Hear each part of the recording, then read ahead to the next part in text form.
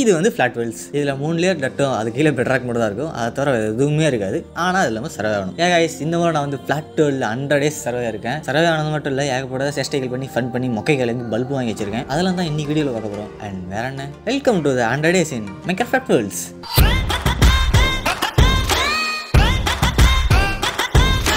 அப்படியே வேர்ல்டுக்குள்ளே வந்து பார்த்ததுமே வழக்கம் போல பார்த்தா மொழுக்கட்டின்னு தான் இருந்துச்சு.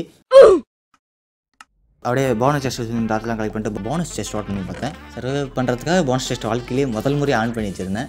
போனஸ் டெஸ்ட்டில் வந்து லவா பைட்டும் கால்டன் இருந்துச்சு. அதாவது அதாவது ஒரு அடான் போட்டிருக்கேன். அதனால தான் போனஸ் டெஸ்ட்டில் எனக்கு வந்து இது கிடச்சிருக்கு. அதாவது ஜாவாவில் வந்து நமக்கு ஸ்ட்ரக்சர்ஸ் ஆன் பண்ண முடியும். ஆனால் பெட்ராக்கில் முடியாது. ஸோ அதனால தான் வந்து இந்த அடான் போட்டு ஸ்ட்ரக்சர்ஸ் வராது ஆனால் கொஞ்சம் சர்வே ஃப்ளாட் வேல் வந்து கொஞ்சம் ஈஸியாக மாற்றி கொடுக்கும் அதுதான் தான் போட்டிருக்கேன் செஸ்ட்டுக்குள்ளே இருக்கிறதெல்லாம் உடச்சி காலி பண்ணிட்டு உடச்சி எடுத்துக்காக ஸ்பான் சங்கில் ஒரு ஓட்டையை போட்டேன். எதுக்காக உடனே தெரில போட்டு மூடி ஏதோ பண்ணிட்டு அப்புறம் மறுபடியும் வந்து ஒரு நல்ல ஏரியாவை தேடி வர ஆரம்பித்தேன் ஆனால் எதுக்காக நான் ஓடினேன் எனக்கு தெரியல. ஏன்னா ஃப்ளாட் உள்ள எல்லாமே ஒரே மாதிரி தான் இருக்கும் எங்கிட்ட பார்த்தா முழுக்கட்டின்னு தான் இருக்கும். அப்படியே ஓடிக்கிட்டு இருந்தேன். ப்ளூவாக தெரியுது இல்லை கைஸ் அது வந்து ஸ்லைம் தான். நான் ரிசோர்ஸ் பேக் போட்டு கலரை மாற்றி விட்டேன். அவ்வளோ வேறு பெரிய விஷயம் இல்லை. ஆனால் செம்ம க்யூட்டாக இருக்கலாம் கைஸ்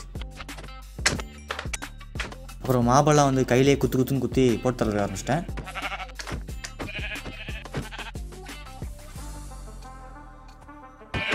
அப்புறம் தான் ஒழுங்குமுறையாக ஒரு இடத்துல செட்டில் இல்லை நானிட்டு சும்மா அப்படியே ஒர்க் சாப்ளிங்காக இருந்துச்சு. அப்படியே வந்து ஒரு இடத்துல நட்டு விட்டேன். அவர் நட்டு விட்டு நம்ம செஸ்ட்டில் வந்து எல்லா ஸ்டஃபையும் தூக்கி போட்டாச்சு. அண்ட் கால்டனையும் வச்சேன். நான் மழை வந்து வரணும் இல்லையா? தண்ணி தான் உங்களுக்கு முக்கியம். தண்ணி வரைக்கும் என்ன பண்ணுறது தெரியல.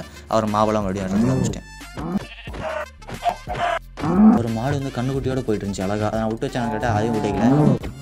அப்புறம் பார்த்தா அதுக்குள்ள நைட் ஆயிடுச்சு. என்கிட்ட உள்ளு இருந்துச்சு உட்டும் இருந்துச்சு. பெட் செய்ய முடியும் ஆனால் நான் செய்யல. ஏன்னா வந்து என்கிட்ட ஸ்ப்ரோஸும் டார்க் ஓக்கு இருந்துச்சு. அதை சேவ் பண்ண முடிவு பண்ணிட்டேன். நம்ம நம்ம கிட்ட அப்போதைக்கு வந்து ஒர்க் சப்ளை மட்டும் தான் இருந்துச்சு. அதனால குழியை தோண்டிட்டு கையில் இருந்த ஸ்டஃப்லாம் எடுத்து செஸ்ட்டில் வச்சுட்டு திரும்பி பார்க்கல ஜாம்பிஸ் பண்ணிட்டான் குழிக்குள்ள போய் டக்குனு மூடலாம் பார்த்தா உள்ளே உள்ளே வச்சுட்டான் ஏன் நேரமா என்னன்னு தெரியல. அவனே அது தெரியல. அவனால் அடிக்க முடியல. ஸோ அவனை அப்படியே அடிச்சு காலி பண்ணிட்டு அவன் ஒரு பொட்டேட்டோ ட்ராப் பண்ணா அதை வச்சு அப்படியே நைட் ஃபுல்லாக எஃப்கே போட்டாச்சு. விடிஞ்சதும் போய் பார்த்தா வந்து வெளியே கொஞ்சம் ஸ்கெல்டன் மாமா வயசுல செத்துனானுங்க அவங்க இருந்து ஏரோ போன்லாம் கலெக்ட் பண்ணிட்டு யா க்ரீப்பர் அடிச்சிட்டான். அதையும் மூடி விட்டு அப்புறம் செஸ்ட்டில் மறுபடியும் ஸ்டஃப் எல்லாம் மறுபடியும் எடுத்து வச்சுட்டு அவன் ட்ராப் பண்ண போட்டுலாம் மறுபடியும் மாப் கில் பண்ணுறதுக்கு ஆரம்பிச்சேன் அப்புறம் தான் என்ன பண்ணி நமக்கு தான் போன் இருக்கேடா போன் மேல் பண்ணி மரத்தை வளர்க்கலாம்டான்ட்டு சரி மரத்தை வளர்த்தேன் வெட்டினேன் கிராஃப்டிங் டேபிள் செஞ்சேன் டூல் செஞ்சேன். அவர் மறுபடியும் தெரியாதனமா இன்னொரு கிராஃப்டிங் டேபிள் செஞ்சேன் ஆக்ஸ் எடுத்து பதில். அந்த அந்த கிராஃப்டிங் டேபிள் வச்சுட்டு மறுபடியும் மரத்தை போன் மேல் பண்ணேன். மரத்தை வெட்டினேன். மறுபடியும் ஆக்ஸ் செஞ்சு அந்த மரத்தை மறுபடியும் வெட்டினேன். அவர் மறுபடியும் ஆஃப் கில் பண்ணேன் அதான் பண்ணுறேன் அப்புறம் ஃபைனலாக ப்ளூ பெட் செஞ்சாச்சு. நைட் ஆயிடுச்சு. ஆனால் நான் பெட்டில் தூங்கல. ஏன்னா நைட்டில் ஸ்கெல்டன்ஸ் பண்ணனா நமக்கு யூஸ்ஃபுல்லாக இருக்கும். அதனால வந்து மறுபடியும் குழி குழி போய் ஹிட் பண்ணுறதுக்கு ஆரம்பிச்சிட்டேன். அடுத்த நாள் வெளியே வந்து பார்த்துமே உன்னோட ஸ்கெல்டன்ஸ் பண்ணி செத்துருந்தான். ஆனால் அது பார்த்துல உன்னோட ஸ்கெல்டன் இருந்தான். அடிக்கலாம் தான் போனேன். டக்குனு வந்து பெட்டை போட்டு ரீஸ்பான் பாயிண்ட் செட் பண்ணிட்டேன். ஏன்டான்னு கேட்டிங்கன்னா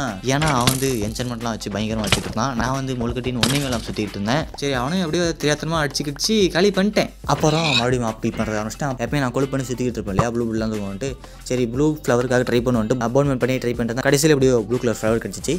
கடைசியில் அப்பயும் ப்ளூ டிசைன் செய்யாமல் ரெண்டு லைட் ப்ளூ பெட் செஞ்சு வச்சேன். ஆனால் அதிலையும் தூங்க மாட்டேன். அப்புறம் தான் நான் வந்து என்னடா மழையே வர மாட்டேன் கேட்கும் போதெல்லாம் வராது ஸ்கை பிளாக்னா ஃபஸ்ட்டு உள்ளே போனதுமே வரும் ஆனால் அதில் வராது. சரி என்னடா இது ரொப்பரத்து ஏதாவது வழி இருக்கான்னு பார்த்துக்கிட்டு இருந்தேன். வேறு ஏதாச்சும் வழி இருக்குமான்னு ட்ரை கூட பண்ணிக்கிட்டு இருந்தேன். ஆனால் கடைசி வரைக்கும் எதுவுமே ஒர்க் ஆகலை.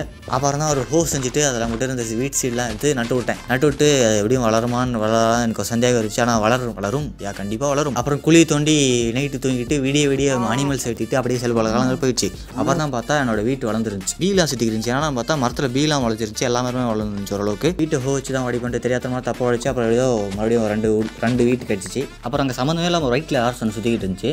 அதை நான் டேம் பண்ணேன். அதாவது எனக்கே சோறுல ஆனால் அதுக்கு டேம் பண்ணி சோறு போகிறோமோ அதை டேம் பண்ணுறேன் அவன் குளியில் போட்டு முடி வச்சிட்டேன். அப்புறம் guys, என் ராசி பால்லாம் என்னன்னு தெரியல. நான் விடியும் போது ஸ்கெல்டனாக பார்க்கும் போதெல்லாம் ஆர்மர் போட்டு தான் இருக்கும். அதுவும் இன்சென்ட் ஆர்மர் சரி அவனையும் அப்படியே போராடி காலி பண்ணிட்டேன். அப்புறம் தான் ஒரு முடிவு பண்ணா என்னன்னா நம்ம பேஸை துட்டி ஒரு குழியை வெட்டலாம். குழியை வெட்டி டேப்லெட் போட்டுட்டா மாவெல்லாம் வராது. வரவங்களாம் உள்ள வந்துருவாங்க. அதாவது நான் ஜாம்பியை மட்டும் சொல்ல ஆடு மாடு எதுவும் உள்ள வந்துடும் ஈஸியாக கில் பண்ணிக்கலான்ட்டு குழியை தோண்ட ஆரம்பிச்சேன். ஆமாம் நான் மெயினாக வந்து சென்ட்ரில் அப்போ ரோட்டன் ஃப்ளஷ் சாப்பிட்டுருந்தேன். ஏன்னா எங்கிட்ட இருக்கிற ஃபுட் சோர்ஸ்க்கு ரோட்டன் ஃப்ளஷ் நல்லா இருந்துச்சு. அப்புறம் வந்து வெளியே வந்து பார்த்தா குழி சைஸ் பார்த்தா மாதிரி இருந்துச்சு. சரி இன்னும் கொஞ்சம் அகத்தில் பார்த்தான்ட்டு அதை சுற்றி வந்து இன்னும் கொஞ்சம் பெருசு பண்ணி விட்டேன். அப்புறம் பார்த்தா ஒரு செட் ஆச்சு. அப்புறம் நம்ம சென்டரில் மறுபடியும் போட்ட வாட்டர் இருக்குல்லையே அதை போட்டு மறுபடியும் மூடி விட்டு அப்புறம் இருந்த வீட்டுக்குலாம் வந்து ட்ராப் டோர் செஞ்சேன். ட்ராப் டோர் செஞ்சுட்டு வச்சா பத்தலை. அதாவது நான் ட்ராப் டோர் வைக்கிறதுக்கு முன்னாடியே அங்கே உள்ள வந்து பிகி பாய்ஸும் கவு பாய்ஸும் உள்ள விழுந்துட்டு இருந்தாங்க. அவனுங்க வேற குறுக்கு குறுக்கு சுற்றிக்கிட்டு இருந்தானுங்க. அப்புறம் டிராப்டோருக்காக மரம் வெட்டிட்டு இருந்தேன். திடீர்னு எனக்கு என்ன தோணுச்சுன்னு தெரியல. ஒரு திடீர்னு ஒரு ஐட்டம் ஃப்ரம் செஞ்சுட்டு நம்ம ஃபஸ்ட்டு ஃபஸ்ட்டு ஸ்பானில் மைண்ட் பண்ண டாக்டர் மட்டும் தனியாக வச்சிருந்தேன். அதை வந்து கால்டன் பக்கத்தில் வந்து எங்கே இருக்குதுன்னு தெரியாமல் க- சுற்றி முற்றி பார்த்து கால்டன் லிஸ்ட்டு அந்த ஃபஸ்ட்டு டாட்டையும் வச்சு விட்டேன். அதை நேம் கூட ரீநேம் பண்ண முடியாது. அதுக்கப்புறம் இன்னும் கொஞ்சம் டிராப்டோர் வச்சேன். அதுக்கப்புறம் யா வழக்கம் போல தான். சம்மந்தமே இல்லாமல் க்ரீப்பர் கிட்ட வந்து இழுத்து கிரீப்பர் அடிச்சிச்சு ஆனால் அந்த ஃப்ளாட் உள்ள பிரச்சனை தாங்க அப்பப்போ ஸ்லைம் வந்து சம்மந்தம் இல்லாமல் அவனை அடிக்கிறது கிளம்பிடுவாங்க. வழக்கம் போல் அவங்களை அடிச்சுக்கிட்டு இருந்தேன். அப்புறம் திடீர்னு சைடில் பார்த்தா தான் தெரியுது. வாண்டரிங் டேட்டர்ஸ் பண்ணார் தான்.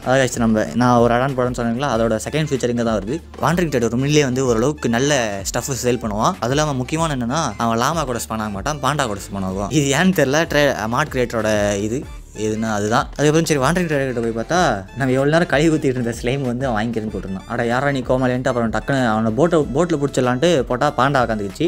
அவனுக்காக இன்னொரு போட்டை பிடிச்சோன்னு செஞ்சு போட்டு அப்புறம் வந்து அதுதான். ஸ்லைமை போட்டு தள்ளுறது கிளம்பிட்டேன். ஓரளவுக்கு நல்லாவே ஸ்லைம்லாம் பண்ண வச்சு ஸ்லைம்லாம் போட்டு தள்ளிட்டு கடைசியில் ஓரளவுக்கு தட்டி கடைசியில் தேர்ட்டி ஃபோர் ஸ்லைம் பால்ஸ் வந்து கரெக்டாக கவுண்ட் ஞாபகம் வச்சிருக்கேன் அவசியமாக அப்படியே வாண்டக் எடுத்து போயிட்டு கொடுத்தா வந்து ஒரு எமரால்டு கொடுத்தா அவர் மறுபடியும் ஸ்லைமை போட்டு தள்ளிட்டு கிளம்பிடுச்சு. அவன் அஞ்சு எமரால்டு ஸ்ப்ரூஸ்லாம் கொடுக்குறேன் போட்டுருந்தான். ஓரளவுக்கு நம்ம தேர்ட்டி ஃபோர் ஸ்லைம் வந்து ஒரு எமரால்டு வாங்க முடிச்சு சரி ஒன்றும் கலெக்ட் பண்ணுவோம் கலெக்ட் பண்ணிருந்தேன் அப்புறம் இன்னும் கொண்டு கலெக்ட் பண்ண ஒன் ஸ்டாக் ப்ளஸ் ஒரு ஸ்லைம் பால் எக்ஸ்ட்ரா வந்து அதையும் கொடுத்து அவங்க எமரால்டு வாங்கிட்டேன். அப்புறம் மறுபடியும் கொண்டு ஸ்லைம்லாம் போட்டு தள்ளிட்டு இன்னொரு எமரால்டு வாங்கினேன். அப்புறம் தான் டக்குன்னு பார்த்தா மழை வந்துச்சு. என்னால் நம்பவே முடியல. என்னடா மழைலாம் கொடுத்துட்டீங்க? கேட்கும் போதெல்லாம் கொடுக்காமட்டு டக்கு டக்குன்னு பேஸ் பண்ண வச்சேன் நான் கால் ரன் பண்ணுவீங்களா ரொம்ப பார்க்கணும். நான் ஒன் வீக் முன்னாடி தான் வந்து ஷிஃப்ட் டியூட்டோரியல் ஒரு ஃபேக்ட் பார்த்துருந்தேன்.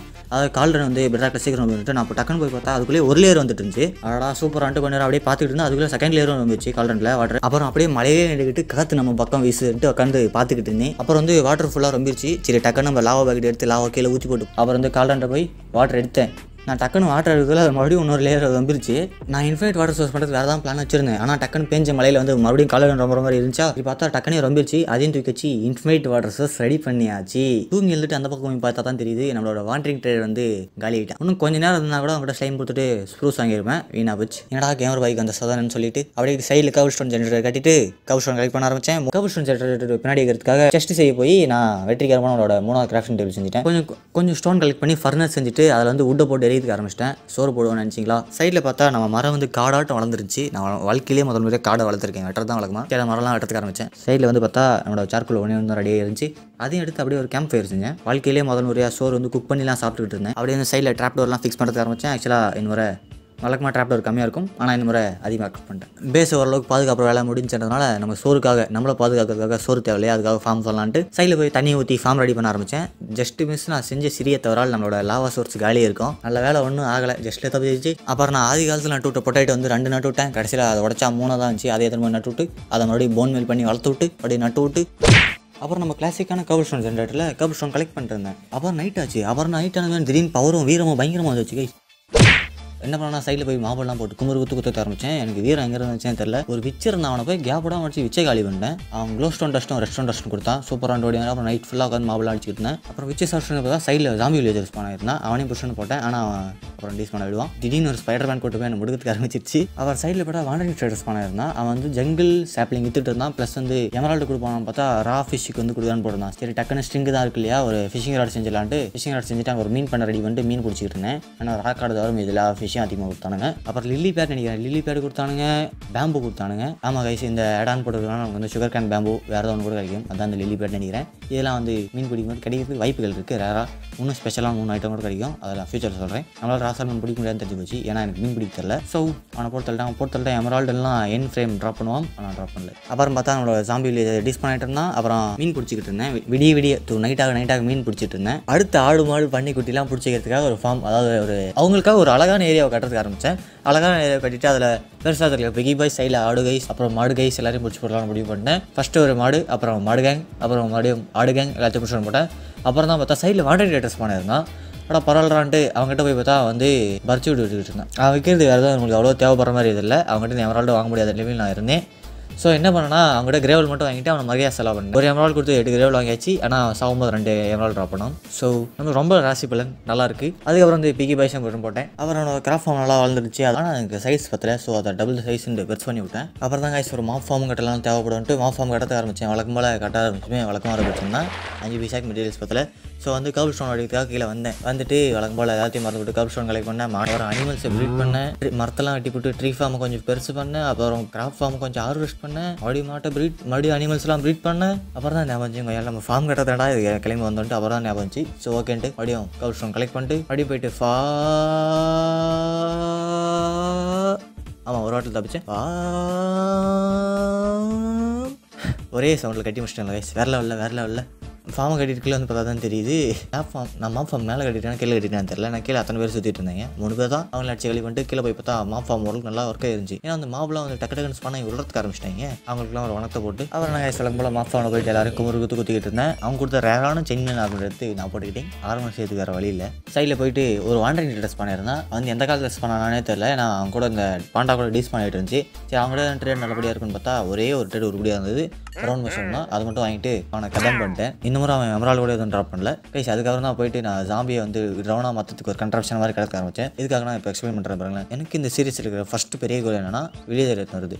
ஆனால் அதுக்கு ஒரே ஒரு வழி தான் இருக்குது ஜாம்பி வில்லேஜரை க்யூர் பண்ணணும். ஜாம்பி வில்லேஜர் க்யூர் பண்ணுறதுக்கு வீக்னஸ் வெர்ஷன் ஆனா விச்சிய பேச்சை ஸ்ப்ளாஷ் பண்ணுவோம். அதை யூஸ் பண்ணிக்கலாம். ஆனால் அதுக்கு கோல்டன் ஆப்பிள் வேணும். கோல்டன் ஆப்பிளுக்கு ஆப்பிள் இருக்கு ஆல்ரெடி நம்மளுக்கு ஆனால் கோல்டு வேணும். கோல்டுக்காக என்ன பண்ணால் எனக்கு தெரிஞ்ச ஒரே ஒரு வழி கோல்டுக்காக piglin zombie fight piglin drop பண்ணுவோம். ஏகப்பட்ட பிக்கை வந்து நம்ம தண்டர் ரோல் வச்சு சாம்பி ஃபைட் பிக்லினாக மாற்றணும் அந்த தண்டர் எடுத்து நமக்கு வந்து லைட்னிங் ராட் வேணும். அந்த லைட்னிங் ராடுக்கு நம்ம காப்பர் வேணும். காப்பர் வந்து ட்ரவுன் தான் ட்ராப் பண்ணுவோம் ஸோ சாம்பியை ட்ரவுனாக மாற்றுக்காக இது கட்ட ஆரம்பிச்சேன். மாப் அவங்கள ட்ராப்லாம் வச்சுட்டு ஜாம்பிலாம் கூட்டணும் கூட்டணும் போட்டிருந்தேன். அப்புறம் கொஞ்ச நேரம் கழிச்சு அந்த பக்கம் தெய்வம் பார்த்தா தான் கீழே ஒரு மாப் கூட்டமே ஓட்டுருச்சு கைஸ் அப்புறம் மேலே வந்து டே கவுண்டர் தெரிஞ்சிருக்காது. ஏன்டா நான் லைட்டாக அந்த டே கவுண்டரில் கோலார் பண்ணிவிட்டேன் தேர்ட்டி செவன்த் டேல உங்களுக்கு கரெக்டாக வந்துடும் சரிங்களா? அப்புறம் க்ரீப்பரும் ஸ்கெல்டன் பாய்ஸ் நான் தொடர்ந்து முடிக்கிட்டே தான் சரி ஒரு மியூசிக் டிஸ்காக ட்ரை பண்ணுவோன்ட்டு நானும் அப்படி இப்படி மேலே கீழே ரைட்டில் லெஃப்ட்னு ஓடிக்கிட்டு இருந்தேன். அப்புறம் கடைசியாக நைட் ஆகும்போது எப்படியோ க்ரீப்பர் இருந்தேன் நான் முடிக்கிட்டே வந்துட்டு இருந்துச்சு. அதே மாதிரி வந்து ஸ்கெல்டன் வந்து அப்படியே என்ன போட்டு தள்ளுற பேரில் கிரீவரை போட்டு மறுகையாக செலா பண்ணிட்டான். எனக்கு வந்து சி ஃபோர் ஒன் எயிட் அப்படின்ற ஒரு மியூசிக் கிடச்சிச்சு. அப்புறம் தூங்கிட்டு வந்து வினிஜயமே பார்த்தா மாபெல்லாம் பிடிச்சி ஐயோ பத்திக்கிச்சு பத்திக்கிச்சுன்னு ஓட்டுருக்காங்க. ஆனால் பொய் சொல்லக்கூடாது. உண்மையிலேயே பார்த்துக்கு செம்மையாக இருந்துச்சு கைஸ் அப்புறம் மறுபடியும் ஜாம்பிலாம் பிடிச்சி உள்ளே போட்டிருந்தேன். அதுக்கப்புறம் நான் தெரியாத்தனமாக உள்ள ஒரு டைம் வந்து என் உயிரை பதி பார்த்தேன். எனக்கு தெரியும் இது ஆட் பொருளில் இருந்தாலும் நான் சாவக்கூடாதுன்னு ஒரு எண்ணத்தோட சுற்றிக்கிட்டு இருந்தேன். இப்படி சாவலை. அது வரைக்கும் சந்தோஷம். சரி கொஞ்சம் கொஞ்சம் பேர் அப்படியே அடிச்சு காலி பண்ணலாம்னு அடிச்சிட்டு போது தான் ஒரு ட்ரவுன் வந்து கையில் காப்பர் வச்சுருந்த பார்த்தேன். ஒரு ட்ரௌன் சேர்த்து அவங்ககிட்ட இருந்த காப்பரை எடுத்து இன்னொரு ட்ரவுன் வச்சுக்கிட்டு இருந்தான். ஒரு ட்ரவுன் காப்பர் ட்ராப் பண்ணால் ஆல்ரெடி ஒரு காப்பர் மேலே இருந்துச்சு ஸோ நம்மளுக்கு லைட்டிங் ராட் செய்யறதுக்கு தேவையான அளவு காப்பர் கிடச்சிச்சு. பட் இருந்தாலும் நான் உள்ள குப்பநாட்டம் போயிட்டு ஜாமிலாம் பிடிச்சி உள்ள போட்டு காப்பர் கலெக்ட் பண்ணிட்டு வச்சுக்கிட்டு அடி வாங்கி சுற்றிக்கிட்டு இருந்தேன். அப்புறம் சைடில் பார்த்தா தான் டக்குன்னு இன்னொரு வாண்டட் டேட்டஸ் பண்ணியிருந்தான். இந்த மாதிரி வந்து பாண்டா டிஸ் பண்ணாத முன்னாடி அதுக்கு ஒரு மேம்பை கொடுத்தேன் டிஸ் ஆகாது. ஸோ நம்மகிட்ட ஸ்ட்ரிங் ஏகப்பட இருந்துச்சு. ஸ்ட்ரிங் கொடுத்து வாண்டட் கிட்ட எமரால்டு வாங்கிச்சு எமரால்டு வாங்கிட்டு அவங்ககிட்ட மாஸ்ட் பிளாக் இருந்துச்சு. எனக்கு மாஸ்ட் பிளாக் பிடிக்கும் உங்களுக்கே தெரியும். ஸோ மாஸ்ட் பிளாக் டக்குன்னு வாங்கியாச்சு. அப்புறம் வழக்கம் போல் வந்து வாண்டட் டேட்டரை கசாக்ட் பண்ணிட்டேன். அவன் பார்த்தா ரெண்டு எமரால்டு ட்ராப் பண்ணான். ஸோ இதுவும் நமக்கு லாபம் தான் அப்புறம் ஏதோ அந்த தான் பிடிச்சி மெதுவாக இது வந்து நம்ம இன்னொரு பாண்டா கூட சேர்த்தியாச்சு. அப்புறம் போயிட்டு நம்ம பிஜி பாய்ஸ் அவங்களுக்கு வந்து பில்ட் பண்ணிருந்தேன் ஏன்னா நம்ம பிகிலினா மாற்றி ஏற்படுத்தா பிக்ஸ் தேவை அதெல்லாம் அடுத்து கைஸ் வழக்கம் போல் ஜாம்பிலாம் பிடிச்சி ட்ரவனாக மாற்றி அடிச்சுக்கிட்டு இருந்தேன். அதுக்கப்புறம் நம்ம போய் நம்ம ஃபார்மில் கொஞ்சம் அப்படியே ஹார்வெஸ்ட்லாம் பண்ணிவிட்டு போயிட்டு நம்ம பிகி பாய்ஸ் அவங்கலாம் ஃபுல்லாக ப்ரீட் பண்ணுறோம் ஏன்னா நம்மளுக்கு ஏகப்பட்ட பிகிஸ் தேவை. ஸோ ப்ரீட் ப்ரீட் ப்ரீட் பண்ணிருந்தேன் சைடில் பார்த்தா ஒரு ஒன் ட்ரெஸ் பண்ணியிருந்தான். நான் எத்தனை காலமாக ஸ்லைம் தேவைப்படுமோ ஒரு ஸ்லைம் ட்ரேட் மறுபடியும் வருமானு பார்த்து ஸ்லைம்லாம் கலெக்ட் பண்ணி வச்சிருந்தேன் கரெக்டாக அதே மாதிரி ஸ்லைம் வித்துட்டு இருந்தான். ஸோ அவங்ககிட்ட ஸ்லைம் கொடுத்து ஏகப்படுத்த எமரால் வாங்கிட்டு ஏகப்பட்டதான் ஏகப்பட்டதா இல்லை லைட்டு தான் வாங்கிட்டு. அவங்ககிட்ட வந்து அப்படியே மெலன் சீடு வாங்கிட்டேன். ப்ளஸ் வந்து பர்ச்சுட்டு போனால் போதும் வாங்கிட்டேன். வாங்கிட்டு வழக்கம் போல் முடிஞ்சு வழக்கமாக ஸ்பான் ஆகிற மாதிரி வாண்டிட்டு பெரிய பாண்டா கூட ஸ்பான் ஆகாமல் பேபி பாண்டா கூட ஸ்பான் ஆயிருந்தான் அந்த பேபி பாண்டா வந்து குளியில் விழுந்து போயிருந்தான். அவனை கொஞ்ச நேரம் போய் பார்த்துட்டு அவன் பக்கத்தில் ஒரு கோழி இருந்தான். அப்புறம் மெலன் செடியும் அப்படியே நட்டு விட்டேன். அது வரும் போயிட்டு பர்ச்சூடியும் அப்படியே நட்டு விட்டேன். பர்ச்சூட் நான் யூஸ் பண்ணுவானு தெரியல. இருந்தாலும் வாங்கி போவோம் ஒரு ஐடின்னு வாங்கி வச்சேன். அப்புறம் தான் guys நம்ம போயிட்டு நம்ம ஃபார்ம் எக்ஸ்பெண்ட் பண்ணலான்ட்டு எக்ஸ்பெண்ட் பண்ண ஆரம்பிச்சிட்டேன். ஏன்னா வந்து நம்மளோட பிகி பாய்ஸ் வந்து நம்மளோட அதிகமாக சாப்பிட்றாங்க. நம்மள மாதிரி சொத்து முட்டையாக இருக்காங்க. அவங்களுக்காக பொட்டேட்டோ போகிறதுக்காகவே ஃபார்மை கொஞ்சம் ப்ரெஸ் பண்ணிருந்தேன் இருந்தேன் அது வரைக்கும் கேப் கிடைக்கும் போதெல்லாம் மா ஆன போய் அடிச்சுக்கிட்டு இருந்தேன். முக்கியமாக பிகே மட்டும் தான் கைஸ் ப்ரீட் பண்ணிட்டு இருந்தேன். பல நாள். கைஸ் ஒரு முக்கியமான விஷயம். இவ்வளோ நேரம் இந்த வேர்ல்டில் நம்ம ஒன்றுமே பண்ணாலும் கேப் விடாமல் பேசி வாயிலே உதார விட்டு வீடியோ நல்லா எடுத்துகிட்டு போயிட்டு இருக்கேன் இல்லைங்களா? இதே மாதிரி இந்த ஃப்ளாட் வேர்ல்டில் ஏகப்பட்ட ஹண்ட்ரட் டேஸ் பண்ணலாம்னு பிளான் பண்ணி வச்சிருக்கேன். ஸோ அதெல்லாம் நான் நீங்கள் வீடியோவை லைக் பண்ணிருக்கேன். சிட் சிக்ஸ் ஹண்ட்ரட் லைக்ஸ் கைஸ் அவ்வளோ லைக்ஸ் வந்துச்சுன்னா நான் இன்னும் ஒரு மாதத்தில் டக்குனு ஒரு ஹண்ட்ரட் டேஸ் போடுறேன். ஸோ லைக் பண்ணுறேன் இப்போ போய் வீடியோ கண்டினியூ பண்ணுங்க. கைஸ் நானும் வந்து பிகி பாய் சென்டரில் வந்து லைட்னிங் ராடெலாம் வச்சுட்டு தண்டர்ஸ்டாம் வரைக்கும் என்ன பண்ணுறேன்னு தெரியாமல் போய் பாண்டா பாய்ஸுக்கு சோறு ஊற்றிக்கிட்டு இருந்தேன். அப்புறம் பொந்தில் இந்த பொண்டு போண்டாக்கு சோறு ஊட்டிக்கிட்டு இருந்தேன். அதாவது பேம்பு எல்லாம் ஊட்டிட்டு அப்படி இப்படி சுற்றிக்கிட்டு இருந்தேன். என்ன பண்ண சுத்தமாக ஐடியா இல்லை. அப்புறம் பிகி பாய்ஸ் போய் சோறு ஊட்டிவிட்டு அவங்கள ஒன்றும் கொண்டாத தண்டை வந்துச்சு அவங்கள போட்டு தள்ளுவேன் இருந்தாலும் அவனுக்கு நான் பாசமாக சோறு ஊட்டிக்கிட்டு இருந்தேன். அப்புறம் போய் மரத்தை வெட்டிக்கிட்டு இருந்தேன். அப்புறம் தான் கைஸ் மழை வந்துச்சு. அப்புறம் ஃபஸ்ட்டு நம்மளோட ஃபஸ்ட்டு ஃபஸ்ட்டு ஃபஸ்ட்டு ஒரே ஒரு மேலே வளர்த்துருந்துச்சு அதையும் வெட்டி போட்டு அப்புறம் வந்து ரெண்டரை சங்க கம்மி பண்ணிருந்தேன் என்னடான்னு கேட்டிங்கன்னா என்னோட என்னோட பிகி ஏகப்பட்டதா இருந்தனால ஏகப்பட்டதா ஃப்ரேம் ட்ராப் ஆயிட்டு இருந்துச்சு அதனால தான். அப்புறம் தான் அது வந்து எனக்கு தண்டஸ்டாமல் ரைன் ஆனே எனக்கு கன்ஃபர்மேஷன் இல்லாமல் சும்மா அப்படியே குத்த வச்சு உட்காந்துருந்தேன் ஏதோ ஒரு லைட்டிங் லைட் விட்டுருந்துச்சு. உங்களுக்கு தண்டஸ்டாமாக இருக்கணும்னு முடிவு பண்ணிட்டு அதை அதுக்கான்னு பார்த்துக்கிட்டு இருந்தேன். பார்த்துக்கிட்டு இருந்தேன். பார்த்துக்கிட்டே இருந்தேன். அதுக்கப்புறம் வந்து குத்து வச்சு உட்காந்துட்டேன் யா, அப்புறம் ஹெல்மெட் கழட்டிட்டு குத்து வச்சு உட்காந்துட்டேன் அப்புறம் வந்து அப்படியே உட்காந்துருந்தாங்க தூங்க கூட இல்லை. அதாவது வந்து நான் ட்ரிக் யூஸ் பண்ணுறேன் வேர்ல்டு விட்டு வெளியே போயிட்டு வெளியே போயிட்டு இருந்தேன். ஏன்னா வந்து அப்படி பண்ணிட்டு இருந்தா வேர்ல்டு வந்து இந்த வெதர் சேஞ்ச் ஆகுதுன்ட்டு ஒரு புண்ணியம் சொல்லியிருந்தான் யூடியூப் வீடியோ பார்க்கும்போது. ஆனால் ஆக்சுவலாக ஒர்க் ஆச்சு. நானும் பார்த்துக்கிட்டே இருந்தேன். கரெக்டாக ஒரு தண்டர் ஸ்ட்ரைக் விழுந்துச்சு. ஆனால் பிகிக்கு வந்து ஒரு எஃபெக்ட்டும் இல்லை. என்னடா நானும் வெறுத்து போயிட்டேன். ஒருவேளை லைட்டிங் கடை கீழே தள்ளி வைக்கணும் போலன்ட்டு அது மாதிரி தண்ணி ஊற்றி கிறுக்கு வேலை பண்ணி பிகி பைஸ்லாம் கொஞ்சம் வெளியே விட்டேங்க. அப்புறம் தாங்க என்னோட ஜீனிஸ் பையனுக்கு ஒரு ஐடியா வந்துச்சு. அதாவது என்னன்னா செயின் மேலே ஸ்மெல்ட் பண்ணால் இங்கட் வருமோன்னு எனக்கு தோணுச்சு. ஆனால் எனக்கு கன்ஃபார்மாக தெரியாது வருமானே அது வரைக்கும். ஆனால் ட்ரை பண்ணலான்னு பண்ணால் கரெக்டாக இங்கிட்டு வந்துச்சு. சரி மொத்த செயின் மேலே ஆரம்பம் தூக்கி போட்டு கொளுத்தி விட்டேன். அதாவது இது மாதிரி மாஃபாவில் கிடச்சதா எல்லாமே. அதை கடைசியில் நான் போடணும் ஆரம்பிச்சு கரெக்டாக போட்டு கொளுத்தி விட்டு முன்னாடி தான் எனக்கு ஒரு அயனிங் கட் செய்கிற அளவுக்கு கொஞ்சம் இப்போ எதுக்கு அயனிங் கட் கேட்டிங்கன்னா ஒரு பிஸ்டன் செய்யறதுக்கு தான் ஃபஸ்ட்டு ஒரு ட்ராப்பரை செஞ்சுட்டேன். தெரியாதனமா எதுக்கு செஞ்சுன்னு தெரியல. ஒரு ரெட் வச்சுட்டு அதுக்கப்புறம் பிஸ்டன் அப்படியே செஞ்சுட்டு அப்புறம் ஒரு பட்டனை செஞ்சுன்னு போயிட்டு அப்புறம் போயிட்டு லைட்னிங் ரேட மேலே பிளாக் வச்சு பிஸ்டன் வச்சு அப்படியே கொஞ்சம் கீழே தள்ளி விட்டு உட்காந்து பார்த்துக்கிட்டு இருந்தேன். அப்புறம் வந்து லைட்னிங்கே இல்லை என்னடா பண்ணுறாங்க எனக்கும் போர் அடிச்சு போச்சு. அப்புறம் வந்து கண்ணில் ஒரு நாலு ஜாம்பியில் எதிர்பட்டேன் மாட்டாங்க. அவங்கள மூணு பேர் தான் வந்தாங்க. ஒருத்தங்க போனான்னு தெரியல. அப்புறம் மூணு பேர் வந்துட்டு அவங்க ஏதோ பிடிச்சி போகிறோன்னு ஃபன் பண்ணிட்டு அவங்க ஜாம்பி ஃபைடு வில்லேஜர்ஸ் முன்னாடி போயிட்டு நான் பாட்டுக்கு ஒரு குச்சிக்கிட்டு இருந்தேன். அந்த சைடு ஏதோ தாண்டிக்கிட்டு இருந்தேன். கடைசி வரைக்கும் தண்டர் ஸ்டேக்கே உள்ள. அப்புறம் விதரம் ஆரம்பிக்கிறனால வெளியே போயிட்டு போயிட்டு இருந்தேன் திடீர்னு வேர்ல்டு வந்து பார்த்தா மொத்த பேரும் பி ஜாம்பி ஃபைடு பிக்லேயே நான் மாட்டிருக்கேன் தண்டர் ஸ்டேக் வந்து நான் வேர்ல்டு ரிலீவ் ஆகும்போது ஒழிச்சா இல்லை லோட் ஆகிறதுக்கு முன்னாடியே ஒழிஞ்சான்னு தெரியல. ஆனால் மாறிட்டு இருந்தாங்க. ஸோ வேற என்ன? வேலையை ஆரம்பிக்க வேண்டியதான்ட்டு ஒருத்தர் மெதுவாக போய் சைடில் அடித்தேன் எனக்கு எப்படி டேமேஜ் வந்துச்சே தெரியல. எனக்கு ஒரு டேமேஜ் கொடுத்து போட்டாங்க. அப்புறம் ஏதோ சைடில் போய் பில்டு பண்ணி தாவி ஏதோ பண்ணி அவங்க மொத்த பேர் அடிச்சிட்டேன். கடைசியில் வந்து ஒரே ஒருத்தன் தான். அது வந்தா இவனையும் போட்டு தள்ளிட்டேன். அது செஸ்ட் ஓப்பன் பண்ணி பார்த்தா செஸ்ட்டுக்குள்ள நமக்கு வந்து இவ்வளோ கோல்டு இருந்துச்சு. ஆக்சுவலாக நம்மளுக்கு தேவையான கோல்டு மட்டும் தான் கோல்டன் சோர்லாம் எடுத்து வச்சிருந்தேன். நான் கொஞ்சம் யூஸ் பண்ணிட்டேன். ஏன்னா வந்து அவங்கள அடிக்கிறதுக்கு டக்குன்னு வெப்பன்ஸ் எதுவும் கிடைக்கலாம் அதாவது கைஸ் என்கிட்ட கொஞ்சம் போர்ச்சாப் அதில் பார்த்தா கொஞ்சம் அதிகமாக இருக்கும். ஏன்னா வந்து தெரியாதரமா சாமி ஃபைட் பிகில் அடிக்கும்போது லைட்டாக பிகி பைஸும் நானே கதம் பண்ணிட்டேன் பிகிஸ் பார்க்கும்போது உங்களுக்கு கம்மியாக தான் இருக்கும். ஏன்னா எவ்வளோ பேர் ஃபஸ்ட்டு சாமி ஃபைட் பிகிலாம் மாறல ஆனால் என் நல்ல நேரம் என்ன ஆச்சுன்னா நான் அடிச்சிட்டு இருக்கும்போதே வந்து ரன் டைம் சென்டர் ஸ்ட்ரைக் விழுந்தனால நிறைய பிகிஸ் வந்து ஜாம்பி ஃபைட் பிகிலாம் மாட்டாங்க. அதனால தான் எனக்கு இவ்வளோ கோல்டு கிடச்சிச்சு. இல்லை கிடச்சிருக்காது. இருந்த கோல்டன் நகட்லாம் எங்கிட்ட மாற்றிலான்ட்டு கிராஃப்ட் டேபிள் போட்டால் பதினாறு தான் வந்துச்சு. gold. பத்தாவதுலாம் நினச்சா சைடில் பார்த்தா ரெண்டு கோல் நான் செய்ய மட்டும் காமிச்சு போட்டாங்க. அப்போ தான் நான் ரியலைஸ் பண்ணேன் வழங்க போல் நம்ம வந்து கணக்கில் மக்கர் பண்ணிட்டோன்ட்டு சரி எப்படியோ வெற்றிக்கமாக ரெண்டு கோல் நான் செஞ்சுட்டான். வேற லெவலில் சைடில் பார்த்தா சைடில் ஒரு கொப்பம் விட்டுருந்தேன் அதுக்கப்புறம் பார்த்தா தான் கைஸ் தெரியுது நம்மளோட சந்திர அந்த பொந்து பாண்டாவை காணும். நானும் சுற்றி முற்றி தேடி பார்க்குறேன். அவன் பெருசாக வளர்ந்து சஃபக்கெட் ஆகி செத்துட்டானா தெரியல. பெருசாக வளர்ந்தப்ப அப்படியே தான் இருந்தான். நான் என்னாச்சுன்னு தெரியல. ரெஸ்ட் இன் பீஸ் அப்புறம் ஆறு முறை இல்லாமல் அந்த சைடில் போய் நின்று பார்த்தா தான் தெரியுது. நம்மளோட பொட்டேட்டோ ஃபார்ம் வந்து நல்லா வளர்ந்துருச்சு. எல்லாமே எல்லாமே லைட்டாக வளர்ந்துருச்சு எல்லாமே. அப்புறம் அந்த பக்கம் போய் பார்த்தா தான் நம்மளோட ட்ரவுன் ஃபார்மான ஃபிஷிங் ஃபார்ம் வந்து கறிக்கு போன பன்னிக்குட்டி சாம்பி ஃபெட் பீலின் ஒருத்தன் வந்து அசுத்தப்படுத்திக்கிட்டு இருக்கான். அவனையும் வந்து போட்டாச்சு. அப்புறம் பார்த்தா தான் தெரியுது மறுபடியும் மழை கழி விட்டாங்க டே இப்போ தான்டா மழை வந்து முடிஞ்சு அதுக்குன்னு பார்த்துட்டு சரி ஓகே ஜாம்பி வில்லேஜர் நல்லா பிடிச்சிக்கலாம் விச்சாதான் பிடிச்சிக்கலான்ட்டு சரி அப்படியே போட் எடுத்துக்கலாம்னு பார்த்தா சுத்தோட்டத்தில் எல்லாத்துலேயும் ஸ்கெல்டன் மாமா பைசன் சுட்டுருந்தாங்க அடப்பாங்கடா நானும் படுத்துட்டேன். வீடியோ எதுவும் பார்த்தா எல்லாரும் ஐயோ பத்தி ஓட்டிருந்தாங்க. அவங்களுக்குலாம் ஒரு மதிப்பு மிகு மாண்புமிகு வணக்கத்தை போட்டு அதுக்கப்புறம் சரி இவங்களாம் தரமாட்டாங்க மாஃபா வந்து சாம்பி வில்லேஜ் இருந்தால் பிடிச்சிலான்ட்டு போய் ட்ரை பண்ணிருந்தேன் கொஞ்ச நேரம் கழிச்சு பார்த்தா விச்சு ஓட்டிருக்கான் வெளியே. அவனும் நம்மளுக்கு தேவைன்ட்டு அவனை பிடிக்க ட்ரை பண்ணேன். அவனை பிடிக்க ட்ரை பண்ணா அவன் ஜகஜால கில்லாடியா இருக்கான் சுற்றி கிட்டி அப்படி ஓட்டுனான் அப்புறம் சைடில் பார்த்தா தான் வாண்டரிங் ட்ரெஸ் பண்ணியிருந்தான். சரி உங்ககிட்ட நடா ட்ரேடுன்னு போய் பார்த்தா வழக்கம் போல ஒன்றுத்துக்கு உருப்படாது. ட்ரேடு தான் வச்சுட்டு இருந்தான் வழக்கம் போல. அட போடா மூக்கு வாயான்ட்டு அவனே அடிச்சு காலி பண்ணிட்டு அப்புறம் தான் விச்சு போய் பார்த்தா அவனுக்கு வந்து நம்ம போட்டில் இருக்கும்போது பின்னாடி பார்த்தா கண்ணு தெரியாது போல. அவனும் பின்னாடி பின்னாடி போயிட்டு வந்து பார்த்துக்கிட்டு இருந்தேன். பெரிய கண்டுபிடிப்பு இல்லை.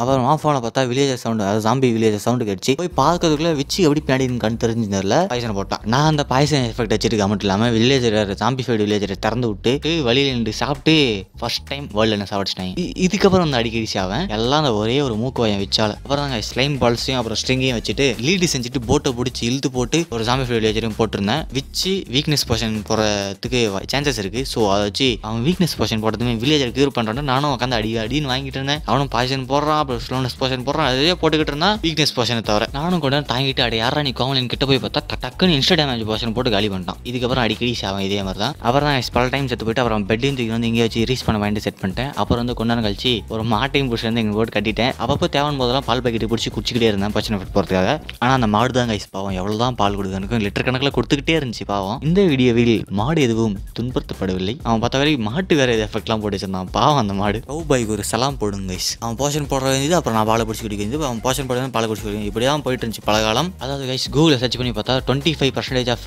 வந்து வீக்னஸ் போஷன் போகிறதுக்கு சான்சஸ் இருக்குன்னு போட்டுருந்தாங்க அதாவது ஃபோரில் ஒன் போகிறதுக்காக ஆனால் எனக்கு வந்து ஒரு ஃபோர் ஹண்ட்ரட் டைம் போட்டிருப்பான் நினைக்கிறேன். ஒரு ஃபிஃப்டி டைம் ஆச்சு போட்டிருப்பான். அப்போ கூட ஒரு வீக்னஸ் போர்ஷன் கூட வரல. கடைசியில் அந்த வீக்னஸையும் போட்டு பாயசையும் போட்டு போடா சனியுமே அடிச்சு விட்டாங்க டக்குன்னு போய் அவனுக்கு வில்லேஜஸ் கோல்டன் ஆப்பிள் கொடுத்துட்டு அப்புறம் போயிட்டு ஃப்ரெஷ்ஷாக ஒரு கோல்டன் சாடத்து எடுத்து வந்து என்னோட விச்சிக்கு பபாய் சொல்லி விட்டேன் அப்புறம் கொஞ்ச நேரம் அப்படியே மாஃப் அவனை குரங்காட்டி ஏற்றி அவி போட்டு அவர் வந்து கீழே போய் பார்த்தா தான் வில்லேஜர் வந்து கியூரே இருந்தான் ஒருத்தன் வந்து டூல் ஸ்மித் ஒருத்தர் வந்து வெப்பன்ஸ் ஸ்மித் மாதிரி தான் டிஸ்கவுண்ட்லாம் கொடுத்தாங்க. எனக்கு எப்படி ஜாவை சூஸ் பண்ணணும்னு எனக்கு சுத்தமாக ஐடியா இல்லை. அப்புறம் அவங்களை சுற்றி ஒரு சூப்பரான ஒரு வீடு மாதிரி வந்து கட்டி கொடுத்துட்டு நான் வேர்ல்டு விட்டு போயிட்டேன். அன்னைக்கு மறுபடியும் போகவே இல்லை வேர்ல்டுக்குள்ளே செம்ம கட்டு போயிட்டேன் அன்றைக்கி அப்புறமா வந்ததுமே கம்போஸ்ட் உடச்சிட்டு எக்ஸ்ட்ரா கொஞ்சம் பெட்டை செஞ்சுட்டு வில்லேஜர் பக்கம் போய் சூப்பர் மேன் லேண்டிங் கொடுத்துட்டு வில்லேஜரை ஃப்ரீ பண்ணிவிட்டு பெட்டை வச்சாங்க பெட்டை வச்சுட்டு கம்போஸ்ட் வச்சு வில்லேஜர் வந்து என்ன ட்ரேட் பண்ணாலும் பார்த்தா பொட்டேட்டோ ட்ரேட் பண்ணால் அவங்க ட்ரேட் பண்ணுறக்கும் போது பார்த்தா கம்போஸ்ட் மேலே ஏறிட்டு வெளியே போய் தப்பிக்க பார்க்குறான். அடங்க கொய்யால வாடாங்க நான் அவனுக்கு பிடிச்சி போட்டு அப்புறமா அவனோட சூப்பர் ஆசம் மூப்பி பொட்டேட்டோ ஃபார்ம் போய் பொட்டேட்டோ வந்து அழகாக வட்டிக்கிட்டு இருந்தேன். அதெல்லாம் உடச்சிட்டு மறுபடியும் வந்து வில்லேஜுக்கு ஒரு ட்ரேட் பண்ணேன். எனக்கு இருந்த ஒரே ஒரு ஐடியா என்னன்னா அவங்க கிட்ட வில்லேஜர்ஸ் கிட்ட எப்படியா டூல்ஸ் வாங்கணுன்றது தான். சரி சைடில் வந்து மாப் ஃபார்மில் ஜஸ்ட் அப்போ தான் தடிக்கிறேன் பார்த்தா ஒரு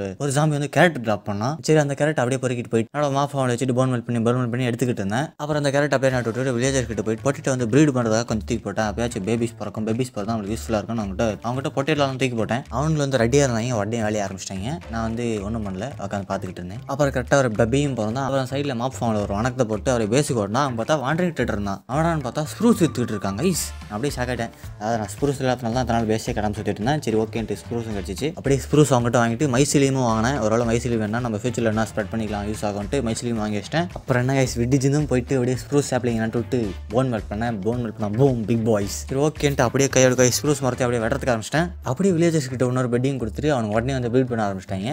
அப்புறம் சைடில் வந்து ஒரு மெலன் ஃபார்ம் நல்லான்ட்டு ஒரு ஓட்டையை போட்டு அப்படியே மெலன் ஃபார்ம் தண்ணி ஊற்றிட்டு அப்படியே சைடில் இதை பண்ணி ஏதோ பண்ணி மெலன் ஃபார்ம் நட்டுவிட்டேன் அப்புறம் பார்த்தா அந்த சைடு ஒரு குட்டியாக ஒரு பேபி கேட் ஒன்று சுற்றிட்டு இருந்தான். அவனை எதுக்கு முடுக்குன்னே தெரியல. நான் கேட்டான் பிடிக்கும் கைஸ் அதனால் வந்து அவனை முடுக்கு முடுக்குன்னு முடிக்கிட்டு இருந்தேன். ஃபிஷ் கூட இல்லை. இந்த வாசி டைம் பண்ணியிருக்கலாம். அப்புறம் வந்து ஒரு ஜாம்பி மர்டர் பண்ணேன். யா. சூப்பரான வழியில் மட்டும் பண்ணேன் அப்புறம் வந்து நம்மளோட கிராஃப்ட் ஃபார்மில் கொஞ்ச நேரம் பொட்டேட்டோ கலெக்ட் பண்ணிட்டு வில்லேஜர் கூட போய் ட்ரேட் பண்ணிருந்தேன் அப்புறம் மாஃப் ஃபார்மில் கொஞ்சம் ஹை சொல்லிட்டு இருந்தேன். அதுக்கப்புறம் நம்மளுக்கு வந்து டூல்ஸ் வித் வில்லேஜர் வேணும். அதுக்காக ரெண்டு அயனிங் கிட்ட இருந்தால் தான் செய்ய முடியும். ஸோ வந்து நம்மகிட்ட வெப்பன்ஸ் வித் வில்லேஜர் அவங்களே கொடுத்தாங்க. ஸோ அவங்ககிட்ட ஆக்ஸ் வாங்கிட்டு அதை வந்து ஸ்மெல்ட் பண்ணி இங்கட்டா மாற்றி ஸோ அதை நகட்டாக மாற்றி அதை வந்து இங்கட்டா மாற்றி அப்புறம் தூங்கி எழுத்துட்டு மறுபடியும் வந்து அவங்க ட்ரேட் பண்ணிட்டு மறுபடியும் அவன் பேரில் நானே படுத்துக்கிட்டேன். கடைசியில் எல்லா அயன் ஆக்ஸையும் ஸ்மெல்ட் பண்ணி முடிக்கும். கடைசியாக என்கிட்ட வந்து பன்னெண்டு நகட் அயன் நகட் இருந்துச்சு. அதை வச்சு ஒரு அயன் நகட் மட்டும் செஞ்சுட்டு அப்பயும் எனக்கு வந்து ஸ்மித்திங் டேபிள் செய்ய முடியாது. இன்னும் ஆறு அயன் நகட் வேணும். அப்புறம் நல்லா பண்ணுறது வச்சுட்டு மறுபடியும் ஸ்போர்ட்ஸ் மரத்தை வெட்டத்துக்கு ஆரம்பிச்சிட்டேன். அப்புறம் எனக்கு இன்னொரு சூப்பரான ஐடியாஸ் பார்க்க ஆச்சு அதாவது அவங்ககிட்ட வந்து ஸ்வாடும் வச்சுக்கிட்டு இருந்தான். அதையும் எங்கள் அயனிங் கிட்ட மாற்றிலான்ட்டு வாங்கினா மூணோட ஸ்டாக்காக கழிவு பண்ணிட்டான். சரி அதையும் வந்து ஸ்மெல்ட்டிங் பண்ணி பார்த்தாலும் அப்பயும் எனக்கு மூணு அயன் நெகட் வேணும். அதாவது வில்லேஜ் மறுபடியும் ரீஸ்டார்ட் பண்ணோட்டா அதுக்கு ஒரே ஒரு வழி வந்து மாஃப் ஃபார்ம் தான். அங்கே ஏஃப்கே பண்ணால் தான் செயின் மேலே ஆர்மர் போட்டு எவனா வந்தால் ஏதாச்சும் கிடைத்து வாய்ப்பு இதுன்னு நாங்கள் கும்பல் கும்பல் குத்திக்கிட்டு இருந்தேன் பல காலமாக கரெக்டாக சிக்ஸ்டி செவன்த் டே நான் ஃபஸ்ட் டைம் டே கவுண்ட் சொல்கிறேன் கரெக்டாக அன்றைக்கி வந்து எனக்கு தேவையான அளவுக்கு கிடச்சிச்சு. அதை வச்சு ஒரு அதை வச்சு நம்ம செகண்ட் அயன் கட்டியும் செஞ்சுட்டு அதுக்கப்புறம் நம்மளோட ஃபஸ்ட்டு ஸ்மித்திங் டேபிள் செஞ்சேன். வழக்கமாக நிறைய போகிறதுக்காக செய்வோம். நான் இப்போ வந்து சம்மந்தம் இல்லாமல் செஞ்சுருக்கோம் அப்புறம் அதையும் அப்படியே வில்லேஜர்கிட்ட திரும்ப வச்சா அவன் வந்து ஷவலும் பிகாக்ஸும் வந்து ஃபியூச்சரில் வைப்பான்னு தெரிஞ்சு சரி அப்புறம் பல காலத்துக்கு வந்து வில்லேஜர்கிட்ட வந்து ப்ரொடெக்ட் வைக்கிறது அவங்ககிட்ட வந்து ஸ்டோன் ஆக்ஸ் இப்படியே காய்ஸ் போயிட்டு இருந்துச்சு. அதை டீட்டெயிலாக சொல்கிறதுக்குள்ள அப்படியே தான் வந்து தரமரம் அடிச்சுக்கிட்டு இருந்தேன். அப்புறம் தான் வந்து வாழ்க்கையை வெறுத்து போயிட்டு அப்படி யாரா நீங்கன்ட்டு நான் சரி நான் பேச கட்டணான்ட்டு வந்து கேபிள் ஸ்டோன் ஓடிட்டு ஆரம்பிச்சிட்டேன். அப்புறம் கேபிள் ஸ்டோன்லாம் கொஞ்ச நாள் அடிச்சுட்டு அப்புறம் தான் பேச கட்டலாம் முடிவு பண்ணிட்டேன். ஆனால் வழக்கமாக வேர்ல்டு மேடு பள்ளமாக இருந்தால் ஃப்ளாட்டாக பண்ணிட்டு பேச கட்டுவோம். ஃப்ளாட்டாக இருந்தால் மேடு பள்ளமாக பண்ணிட்டு பேச கட்டுவோம் இல்லையா? ஸோ என்ன பண்ணலாம் மேடு பள்ளமாக கட்டலாம்னு முடிவு பண்ணிட்டு சரி நிறைய ஷவல் செஞ்சுட்டு கொஞ்சம் நிறைய டட்டு கலெக்ட் பண்ணிட்டு வரலான்ட்டு கிளம்புனேன். சைடில் அப்படியே வந்து கொஞ்சம் அப்படியே ஓடிக்கிட்டு இருந்தால் மார்க் பண்ணிட்டே விட்டுருந்தேன். ஏன்னா ஃப்ளாட் வரல தொலைஞ்சு போகிறது ஈஸி அதனால் வந்து தொலைஞ்சு போகாமல் இருக்கணுன்றதுனால அப்படியே மார்க் பண்ணிட்டே விட்டுருந்தேன். கோட்டட்ஸ் பார்த்து வந்துக்கலாம். அந்த சைடு போனால் சாம்பி சுற்றிக்கிட்டு இருக்கான். எப்போ ரோட்டன் ஃபிளஷ் ஏதோ கையில் எடுத்துட்டு டீஸ் பண்ணாகாமல் சுற்றிக்கிட்டு இருந்திருக்கான். அவனை கொள்றது எனக்கு மனசு வரல. சரி போலாம் அப்படியே விட்டு கொஞ்சம் அப்படியே ஓடிக்கிட்டு இருந்தேன். ஓட்டுருக்கும் போது பார்த்தா அங்கே ஒரு டட்டு ஓட்டை என்னடான்னு பார்த்தா அதுக்கப்புறம் நான் ஞாபகம் இது நம்ம ஸ்பானு சரி அங்கே ஸ்பானில் டட்டை கலெக்ட் பண்ண நல்லா இருக்காது குளியாக நல்லா இருக்காதுன்றனால மறுபடியும் சைடு கட் பண்ணிட்டு அந்த சைடு போயிட்டு அதில் டட் கலெக்ட் பண்ணலான்ட்டு கிளம்பிட்டேன். அப்படியே போய் டட்டு கலெக்ட் பண்ண ஆரம்பிச்சோன். ஷவலில் வந்து டட்டு கலெக்ட் பண்ணுறது ரொம்ப கஷ்டங்க செம கடுப்பாக இருக்குது கொஞ்சம் தான் கலெக்ட் ஆகுது அதுக்குள்ளே உடஞ்சி போகுது. ரொம்ப ஸ்லோவாக இருக்குது நானும் கலெக்ட் பண்ண வரைக்கும் கலெக்ட் பண்ணிருந்தேன் அப்புறம் எடுத்துகிட்டு போன எல்லா ஷவலும் உடஞ்சி போச்சு. அப்புறம் பேஸுக்கு வரலான்னு பார்த்தா அதுக்கப்புறம் கையிலே விட்டுருந்துச்சு சரி இங்கே செஞ்சுக்கலாம்டா ஷவல்ன்ட்டு அப்புறம் பார்த்தா அந்த சைடு வாண்டர் ரேட் இருந்தேன். நான் வழக்கம் போல ஒரு ட்ரேடும் உருப்படியாக இல்லை. மறுபடியும் ஒரு நாலு ஷவலை செஞ்சுட்டு மறுபடியும் டர்ட் கலெக்ட் பண்ண ஆரம்பிச்சேன். அப்படியே டர்ட் கலெக்ட் பண்ணிட்டே இருக்கும்போது நைட் ஆயிடுச்சு. சரி, அப்படியே சைடில் ஒரு ஓட்டையை போட்டு வந்து செட்டில் ஆயிட்டு அப்படியே அது கடுத்தனாலும் டர்ட் கலெக்ட் பண்ண ஆரம்பிச்சேன். ஸ்லைம் வந்து என்ன அடிக்கிற ரேஞ்சிலே சுற்றிட்டு இருந்தான். ஏன்னா என்ன அவனை அடிக்க முடியும்? ஆனால் அவனால் என்ன அடிக்க முடியாது. அப்புறம் அந்த சைடில் ஸ்லைம் வந்து ரொம்ப கண்ணை உறுத்திக்கிட்டே இருந்தான். அவனை போட்டு தள்ளிட்டேன். அதுக்கப்புறம் தான் குட்டி பேபி ஸ்லைம் பண்ணிட்டான் அப்புறம் பார்த்தா இன்னொரு ஸ்லைமும் கிளைம் மாட்டான் அவனையும் போட்டு தள்ளிட்டு குட்டி பேபி ஸ்லைம்லாம் விட்டுட்டு அப்படியே டட்டு கலெக்ட் பண்ணிருந்தேன் ஆனால் அந்த சவுண்டு வேற லெவல் இருந்துச்சு கைஸ் கொச்ச கொச்ச கொச்சன்னு ஒரு சவுண்டு அதுக்கப்புறம் கொஞ்ச நேரம் கழிச்சு கடுப்பிட்டு அவங்கள போட்டு தள்ளிட்டேன். அப்புறம் கலெக்ட் பண்ண டட்டில் இன்வென்ட்ரி வந்து வச்சு அப்புறம் ஏரோ எடுத்து சைடில் இன்வென்ட்ரி எக்ஸ்ட்ரா ஸ்பேஸ் வரதுக்கு அங்கே வச்சுட்டு டட்லாம் கலெக்ட் பண்ணிட்டு பேஸுக்கு கிளம்பிட்டேன். பேஸுக்கு வந்து பார்த்தா நம்ம மட்டும் இவ்வளோ டட் இருந்துச்சு கைஸ் அதுக்கப்புறம் வந்து என்னோட கேபிள் ஸ்டோன் ஃபார்ம் வந்து இழுத்து மூடிட்டு லாவோ வைட் எடுத்து செஸ்ட்டில் வச்சுட்டு அப்புறம் பார்த்தா நம்மளோட three D model square size moon அது வந்து வந்துகிட்டு இருந்துச்சு. சரி அப்படியே நிலா காயுதுன்னு படுத்து தூங்கிட்டேன். அப்புறம் கால்ரனே நம்மளோட ஃபஸ்ட்டு ஃபஸ்ட்டு ஃபஸ்ட்டு டர்ட்டையும் தூக்கின்னு போயிட்டு மெலன் மேலே கால்ரன் வச்சு எதுக்கு வச்சேன்னு தெரியல. அது மேலே வச்சுட்டு ஐட்டம் ஃப்ரேம் போட்டு மறுபடியும் அந்த டர்ட்டை வச்சாச்சு. தனியாக ஸ்பெஷலாக இருக்கட்டும்னுட்டு அதுக்கப்புறம் பேஸ்க்காக எப்படி கட்டலான்ட்டு ஏதோ ஒரு இது மாதிரி கட்டிக்கிட்டேன். அந்த மேடாக கட்டணும் இல்லையா? அதுக்காக வந்து ஏதோ கட்டிக்கிட்டு இருந்தேன். இது என்ன ஷேப்னே தெரியல. எனக்கு ஒரு ஐடியா ஒன்று இருந்துச்சு தலையில். அதை மட்டும் வச்சு அப்படியே கட்டிக்கிட்டு இருந்தேன். சரி ஓகே அப்புறம் பார்த்தா நம்மளோட குதிரை வந்து டேம் பண்ணாமல் வந்து பல காலமாக அங்கே குளிகளே இருந்தான் அவனையும் பிடிச்சி போய் கட்டலான்ட்டு லீடு தேடினா லீடை காணும். சரி புதுசாக லீடு செஞ்சுட்டு அவனை இழுத்துட்டு போயிட்டு அங்கே கட்டலான்ட்டு மாடை தெரியாத தான் டச் பண்ணேன். அவன் ஒரே டச்சில் செத்து போயிட்டான். நான் ஒன் பெஞ்ச் பேனா மாட்டினா இல்லை வச்சு போட்ட போஷன் எஃபெக்டான்னு தெரியல. பாவம். இந்த மாதிரி எனக்கு ரொம்ப ஹெல்ப் பண்ணிருந்துச்சு கைஸ் அதை மலை மாதிரி கேட்டேன்ட்டு கேபிள் ஸ்டோனை மூணு லேயராக போட்டேன். அப்போ தேவையில்ல ரெண்டு லேயராக உடைக்கிறேன் உடைப்பேன் மறுபடியும் வந்து ஆட் பண்ணுவேன். இதனால அந்த ஸ்டோன் கேபிள் உடைக்கிறதுக்கு செம்ம கடுப்பு. ஏன்னா வந்து ரொம்ப ஸ்லோவாக இருந்துச்சு அதான். அதெல்லாம் உடச்சிட்டு அப்படியே ஃபைனலாக ஒரு முடிவு பண்ணிட்டு டட்டை போட்டு ஃபீல் பண்ணு பண்ணு பண்ணுறதுக்கு ஆரம்பித்தேன் அப்போ ரெண்டு பிளாக்கை வைக்கலான்ட்டு வச்சுட்டு மறுபடியும் மூணாவது பிளாக்கை போட்டு ஏதோ பண்ணி ஏதோ ஓரளவுக்கு ஹைட் பண்ணி ஃபிக்ஸ் பண்ணிட்டேன் எப்படியோ. அப்புறம் வந்து அது கொஞ்சம் தான் கட்டின மாதிரி இருந்துச்சு. ஷேப் ஏதோ ஒரு நல்லா வந்துருந்துச்சு. ஆனால் வந்து டட்டு உடனே காலி போச்சு. சரி ஓகேடா நான் போய் டர்ட் எடுத்தே ஆகண்டான்ட்டு மறுபடியும் மாமா ஆயுதம் ஆயுதம் எல்லாம் எடுத்துட்டு கிளம்பா ஜாம்பிக்கு ஒரு ஹாயை சொல்லிட்டு அப்படியே வந்து போய் டட்டு கலெக்ட் பண்ண ஆரம்பித்தேன் அங்கே பார்த்தா வாண்டி ரைடர் இருந்தான் அவன் மூணு ஸ்பான் அப்போ நான் சாவடிக்காம விட்டேன் நினைக்கிறேன். இந்த முறை வந்து சம்பவத்தை கரெக்டாக செஞ்சுட்டு மறுபடியும் டட் கலெக்ட் பண்ண ஆரம்பிச்சிட்டேன். ஆனால் இந்த முறை கொஞ்சமாக தான் டட் கலெக்ட் பண்ணியிருந்தேன். நான் நமக்கு அவ்வளோ தேவையில்லைன்னு தோணுச்சு. சரி அப்படியே பேசிக் கிளம்பிட்டு மறுபடியும் பேசிக் கிளம்பிட்டேன். பேசிக் வந்து நம்ம பந்து பேட்டில் கொண்டாரு அப்படியே படுத்து தூங்கிட்டு அப்படியே வந்து மெலன் கலெக்ட் பண்ணிட்டு நம்மளோட super OP over power ultratech pro max potato farm வந்து அப்படியே வந்து உடச்சிக்கிட்டு இருந்தேன். அது எவ்வளோ ஓபியாக கொடுத்தாலும் அது அதுக்கு மறுபடியும் குடிக்கணும் இல்லைங்களா guys? அது அந்த ஸ்டாக்கு ஸ்டாக்காக நடும்போது போயிடும். சரி ஓகே நான் அதையும் அப்படியே கடுப்பில் நட்டு விட்டு அப்புறம் வந்து பார்த்தா நம்ம வில்லேஜஸ் வந்து ரொம்ப சிக்கனமாக நாளை அந்த குட்டி பிளாக்குள்ளே வந்து அப்படியே தூங்கிட்டு இருந்தானுங்க. சரி அவங்கள பார்த்து ரொம்ப வந்து கஷ்டப்பட்டேன். யாரா இவங்களை போட்டு இப்படி அடைச்சி வச்சுது? இவங்க ஏன்டா இப்படி கஷ்டத்தில் இருக்காங்கன்ட்டு அடைச்சதே நான் தான் அப்படின்ட்டு ஃபீல் பண்ணிட்டு அப்படியே அவங்களுக்கு கீழே வந்து ஒரு பெருசாக ஒரே ரெடி பண்ணலான்ட்டு கீழே போய் டிக் பண்ணிட்டு ஃபென்ஸ் வச்சு விட்டேன். அதுக்கப்புறம் அவங்களோட ஜெயில் மாதிரி இருந்ததை சுதந்திர பறவைகளா பறங்கடான்ட்டு கீழே உடச்சு விட்டு சைட்லையும் பிரேக் பண்ணி விட்டேன். அப்புறம் அவங்களுக்கு தேவையான அளவுக்கு என்னால் முடிஞ்ச வரைக்கும் ஏகப்பட்டதா பெட் செஞ்சு வந்து அப்படியே வச்சுக்கிட்டு இருந்தேன். அவங்க பெட்டை வச்சதுமே வேலையை கட்ட ஆரம்பிச்சிட்டாங்க. சரி அப்படியே வில்லேஜ் கொடுக்கும் பொட்டேட்டோ கொடுத்து அப்படியே ட்ரேட் பண்ணிட்டு அப்படியே இருந்த மேலே கிராஃப்ட் பண்ணி அவங்க அவங்ககிட்ட கொடுத்துட்டேன். ஏன்னா ஒரு மேலனுக்கு ஒரு எமராய்டு கொடுத்துட்டு இருந்தான். நம்ம கியூர் பண்ண வில்லேஜ்ன்றதுனால அப்புறம் மாஃப் போய் சும்மா அடிச்சுக்கிட்டு இருந்தேன். நம்ப முடியாத விஷயம் நடந்துச்சு. என்ன ஆச்சுன்னா டைமண்ட் ஆர்மர் வந்து எவனோ போட்டிருக்கேன் அதை ட்ராப் பண்ணிட்டான் நான் இன்வென்டரில் அந்த கூட பார்க்கல. அப்புறம் பார்த்தா திடீர்னு பார்த்தா டைமண்ட் ஆர்மர் நான் ஒன்றும் அயன் ஆர்மரே செய்யலடா அவனு கையிலன்ட்டு. நான் அப்படியே செம சாக்கிட்டேன் ஆனால் வந்து டைமண்ட் ஆர்மர் ஓப்பிடா போடுறான்ட்டு நான் குருட்டப்பர் குமுட்டப்பர் குச்சிக்கிட்டு இருந்தேன். அப்புறம் தாங்க பேஸ்க்கு ஒரு ஃபார்மேஷனை போட்டு கடைசியாக பேஸ் கட்ட ஆரம்பிச்சேன். இவ்வளோ நாள் பேஸ் கட்டாததுக்கு காரணம் என்னன்னா என்கிட்ட ப்ரூஸ் எதுவும் இல்லாதனால தான் எப்படியோ ஃபைனலாக ப்ரூஸ் கட்டிச்சுனா பேஸ் கட்டணும்ட்டு பேஸ் கட்ட ஆரம்பிச்சேன். எனக்கு அப்போ இந்த ஸ்டார்டர் பேஸ் கட்டுறது தான் ஐஸ் பிடிக்கும். ஏன்னா வந்து ஸ்டார்டிங்கில் ஒன்றுமே இருக்காது. என்ன ஃப்ளாட் விளையாடுறதுனால எயிட்டி த்ரீ இயர்ஸ் ஆகியும் நம்மகிட்ட ஒன்றும் இல்லை. ஃப்ளாட் எல்லாம் ஏதோ தான் பண்ண வேண்டியதாக இருக்குது சரி இருந்தாலும் பரவாயில்லன்ட்டு மனசை தேத்திக்கிட்டு பேஸ் கட்ட ஆரம்பிச்சேன் கைஸ் அப்படியே பேஸ் கட்டுறக்கும் போது பார்த்தா தான் வந்து சைடில் வாண்டன் தேட்டர் ஒரு நாள் ஸ்பான இருந்தான். அடா உன்னால எதிர்பார்த்துக்கிட்டு இருந்த போய் பார்த்தா டார்க் ஓக் வித்துக்கிட்டு இருந்தான். உன்னதாடா தேடிட்டு இருந்தான். அவங்ககிட்ட உடனே டார்க் ஓகே வாங்கிட்டேன். பம்கின் சீடும் எடுத்துக்கிட்டு இருந்தான். பம்கின் சீடையும் அப்படியே வாங்கிட்டேன். அப்புறம் நம்ம வாண்டட் ரைடர் கிட்ட வாங்குறது வாங்கியாச்சு. கொடுக்கணும் இல்லையா அவங்ககிட்ட அதையும் செஞ்சு விட்டு அவங்ககிட்ட நேர்மையான முறையில் எமரால் வாங்கிட்டு அப்புறம் எப்படியோ ரொம்ப நாள் கழிச்சு பேஸை கட்டி முடிச்சேன் கைஸ் அதாவது இந்த பேஸை கட்டத்து எத்தனை நாள் ஆச்சுடா? நீங்கள் கேட்காத தெரியுது. ஆனால் வந்து என்ன பிரச்சனை என்கிட்ட ஃப்ளாட் விளையாடுற அவ்வளோ வெரைட்டி ஆஃப் பிளாக்ஸ் இல்லை. சரி போன் பிளாக் யூஸ் பண்ணலான்ட்டு இந்த போன் இந்த பேஸ்க்காக போன் பிளாக் கலெக்ட் பண்ணுறது ரொம்ப நாள் ஆயிடுச்சு. அதனால தான் லேட் ஆச்சு பேஸ் கட்டுறதுக்காக. அதான் அது மட்டும் இல்லாமல் அதிசயமாக நான் ஒரே மட்டும் இன்டீரியரையும் முடிச்சிட்டேன். உடனே என்ட்ரன்ஸில் டோர் வேறு வச்சிருக்கேன். அதே ஒரு பெரிய விஷயம் அப்படியே பேஸுக்குள்ளே போனோம்னா சும்மா அந்த இது ஏரியா அது ஐயோ அது வேற கட்டா வாயில் இல்லை இப்போதைக்கு அந்த ஏரியா மாதிரி இருக்கும். அதாவது அப்போதைக்கு அயன் இருந்துச்சுன்னா அயன் அயன் பார் வச்சிருப்பேன். ஆனால் வந்து அதை வைக்க முடியல. ஸோ அந்த சைடு வந்து அதனால் வந்து ஃபென்ஸ் வச்சு விட்டுருந்தேன். அந்த சைடு வந்து அப்படியே வந்து ஸ்டோரேஜ் ஏரியா மாதிரி குட்டி சைஸ் ஸ்டோரேஜ் ஏரியா மாதிரி. அதே இப்படிக்க வந்தால் ஒரு சும்மா உட்கார ஏரியா மாதிரி. அதான் அதே இந்த சைடு வந்தோம்னா சும்மா அது கவோர்டு மாதிரி கபோதுக்குள்ள எதுவும் இல்லை. இப்போதைக்கு பரவண்டா எதுவும் வைக்க மாட்டேன். எனக்கு தெரிஞ்ச வரைக்கும். அப்படியே மேலே போனோம்னா இந்த சைடு வந்து நம்மள குட்டி சைஸ் வாட்சிட்டு வர மாதிரி இந்த ஃபிளாட் ரோடில் நம்ம என்ன தான் கிழிச்சிருக்கோம் அப்படி என்ன எட்டி பார்த்துக்கலாம். ஆனால் அப்படியே உள்ள சைடு போனோம்னா இது நம்மளோட இன்னொரு மெயின் செஸ்ட் ஏரியா மாதிரி. இதெல்லாம் வந்து நான் பொருள்லாம் ஓரளவுக்கு போட்டு வைப்பேன். ஆனால் அப்படியே இப்படி காத்துருமோனா நம்மளோட பெட்டு ஏரியா அதாவது வந்து இங்கே டெக்கரேஷன்லாம் பயங்கரமாக பண்ணி வச்சிருந்தேன். இருந்தது ஸ்க்ரூஸ் மட்டும்தான். அதை வச்சு ஏதோ பண்ணணும் முடிஞ்சதுக்கு பண்ணியிருந்தேன். நம்ம பயங்கரமான ஒரு சிங்கிள்ன்றதுனால ஒரே ஒரு பெட் தான் இடம் தான் வச்சிருந்தேன். ஆனால் அந்த பெட்டு கூட போதி வைக்கல. அப்புறம் வந்து நம்மளோட ஷார்ட்கட் வழியாக எகிரி வச்சு போயிட்டு பெட் எடுத்து வந்து மறுபடியும் ஃபிக்ஸ் பண்ணியாச்சு. வச்சுட்டு அப்படியே ரீஸ்பான் பாயிண்ட்டி செட் பண்ணியாச்சு. இனிமேல் இதான் கைஸ் நம்ம வீடு பர்மனெண்ட்டாக அண்ட் இந்த சைடு ஒரு ஜன்னல் மாதிரி இருக்கும். இப்போதைக்கு நம்மகிட்ட கிளாஸ் இல்லாதனால வைக்கல. அது இல்லாமல் இந்த வழியாக இந்த வழியாக எப்படியும் இப்போ எதுக்கு எகிரி குதிக்க முடியாது. ஏன்னா வந்து ஃபென்ஸ் கேட் இருக்கிறதுனால ஓப்பன் பண்ணிட்டு தான் குதிக்கிறோம். நம்ம எனக்கு எப்பவுமே அந்த சைடில் இருக்க வழி தான் பிடிக்கும். அப்புறமா வந்து அப்படியே சைடில் பார்த்தா நம்மளோட கிராப்பெல்லாம் வந்து பயங்கரமாக நல்லா வளர்ந்துச்சு அதெல்லாம் கலெக்ட் பண்ணிட்டு வில்லேஜ் கிட்ட எப்படியா நம்ம டூல்ஸ் வாங்கிடலாம் டைமண்ட் டூல்ஸ்ன்ட்டு அவங்ககிட்ட போய் ட்ரேட் ட்ரேட் ட்ரேட் பண்ணிட்டு இருந்தேன். அப்புறம் வந்து வில்லேஜ் வந்து ஏகப்பட்ட பேர் டுவெண்ட்டி வில்லேஜ் பக்கம் வந்துட்டாங்கன்னு நினைக்கிறேன். ஏன்னா அயன் ஃபார்ம் மாதிரி ஒர்க் ஆக ஆரம்பிச்சிச்சு. அயன் கோலமாக ஸ்பான் ஆக ஆரம்பிச்சாங்க அவனுக்கு ஸ்பான் ஆனால் நம்மளுக்கு என்ன வேலை? அவங்கள போட்டு தள்ளுறது தான் அவங்கள போட்டு தள்ளுறதுக்கு ஆரம்பிச்சிட்டேன். ஒருத்தனை அதிசயமாக நல்லபடியாக கில் பண்ணிட்டு இன்னொருத்தனையும் ஏதோ கிளிக் பண்ணி அப்படியே கில் பண்ணிட்டேன். ஆனால் தேர்டு பேண்டையன் வந்து ஒருத்தன் வந்து அவன் என்ன ட்ரிக் பண்ணி one one shot one kill பண்ணிட்டான். அப்புறம் நம்ம புதுசாக நம்ம பேஸில் போயிட்டு நம்ம ஸ்பான் ஆகிட்டு மறுபடியும் குடுன்னு ஓடி வந்தேன். ஏகப்பட்டதை எக்ஸ்பி சேர்த்து வச்சிருந்தேன். அதுவும் வீணாக போச்சு. நான் அப்பயும் தெரிஞ்சல அப்பயும் சைடில் இன்னொரு கோலம் இருந்தால் அவனையும் இழுத்து வச்சு அடிச்சு விட்டு இந்த கோலையும் இப்படியோ ட்ரிக் பண்ணி வெறித்தனமாக அடிச்சு விட்டேன். அவர் தான் இப்போ ஒரு பெரிய கேப்பரும் அதாவது இப்போதைக்கு வந்து நான் என்ன பண்ணுறேன்னா வில்லேஜ் ட்ரேட் பண்ணிட்டு மாஃப் அவனுக்கு ஒன்று அடிச்சுக்கிட்டு இருந்தேன். அவ்வளோதான் வேறு எதுவும் பெருசாக பண்ணல. அப்புறம் நைன்டி எயித் டே வந்துருச்சு. அப்புறம் தான் ஃபைனலி போய் பார்த்தா உங்களுக்கு இந்நேரம் ஸ்க்ரீனில் போட்டிருப்பேன். என்ன தெரியுது பார்த்தீங்களா? டைமண்ட் டூல்ஸ் அன்லாக் ஆயிடுச்சு சரி வாங்கிடலாம் முடிவு பண்ணி பார்த்தா என்கிட்ட வந்து பிகாக்ஸ் எமராலுக்கு மட்டும் தான் எமரால் இருந்துச்சு. ஏய் என்னடா சோதனை விட்டு அப்புறம் வந்து மறுபடியும் பொட்டேட்டோ வந்து வில்லேஜ் ட்ரேட் பண்ணிட்டு மறுபடியும் அப்படியே ஒரு டைமண்ட் ஷவலையும் வாங்கிட்டேன். இதே பெரிய சாதனை. அப்புறம் அப்படியே அந்த டைமண்ட் ஷவலை ஃப்ரெஷ்ஷாக தந்து அப்படியே ஃப்ரெஷ்ஷாக டெஸ்ட் பண்ணி பார்த்தோம் பேஸ் பக்கம். அப்புறம் மறுபடியும் அந்த லெட்டர் பிடிச்சி இழுத்து மூடிட்டு ஆக்சுவலாக நான் அந்த டேஸ்க்கு எப்படி தான் பிளான் வச்சிருந்தேன். ஆனால் எதுவும் பண்ண முடியல. கடைசியில் வந்து மீன் பிடிக்காச்சும் கற்றுக்கொண்டான்ட்டு மீன் பிடிக்க கற்றுக்காக போய் மீன் பிடிச்சிக்கிட்டு இருந்தேன். ஆனால் அப்போ எனக்கு மீன் பிடிக்க தெரியலை. அப்புறம் தான் எனக்கு ஞாபகம் வந்துச்சு. நம்ம கூட அயன் இருக்கு. அட்லீஸ்ட் ஹண்ட்ரட் டேஸ் முடியும் போது ஐநாயிரம் மாதிரி செய்யலாண்டான்னு முடிவு பண்ணிட்டு ஐநாறு வரையும் செஞ்சேன் கைஸ் செஞ்சுட்டு செஸ்ட் பிளேட் டைமண்டே இருந்துச்சு அதுவும் போட்டுருந்தேன். ஆனால் அந்த கலர் காம்போ எனக்கு ரொம்ப பிடிச்சிருந்துச்சு. அண்ட் கைஸ் மெல்ல பார்த்தவங்களுக்கு தெரியும். அதாவது நம்ம எப்படி ஹண்ட்ரட் டேஸ் சரவிட்டோம் இந்த வேர்ல்டில் அதாவது நம்ம வந்து பெருசாக ஆக்சுவலாக எதுவும் பண்ணல. ஆக்சுவலாக ஒன்றுமே பண்ணல. சொல்லப்போனால் வந்து ஆர்டினரி வேர்ல்டில் டென் டேஸில் என்ன பண்ண முடியுமோ அவ்வளோ பண்ணியிருக்கேன். ஆனால் இது ஃப்ளாட் விளையாடுறதுனால ரொம்ப மெதுவாக யூஸ் பண்ண முடியுது.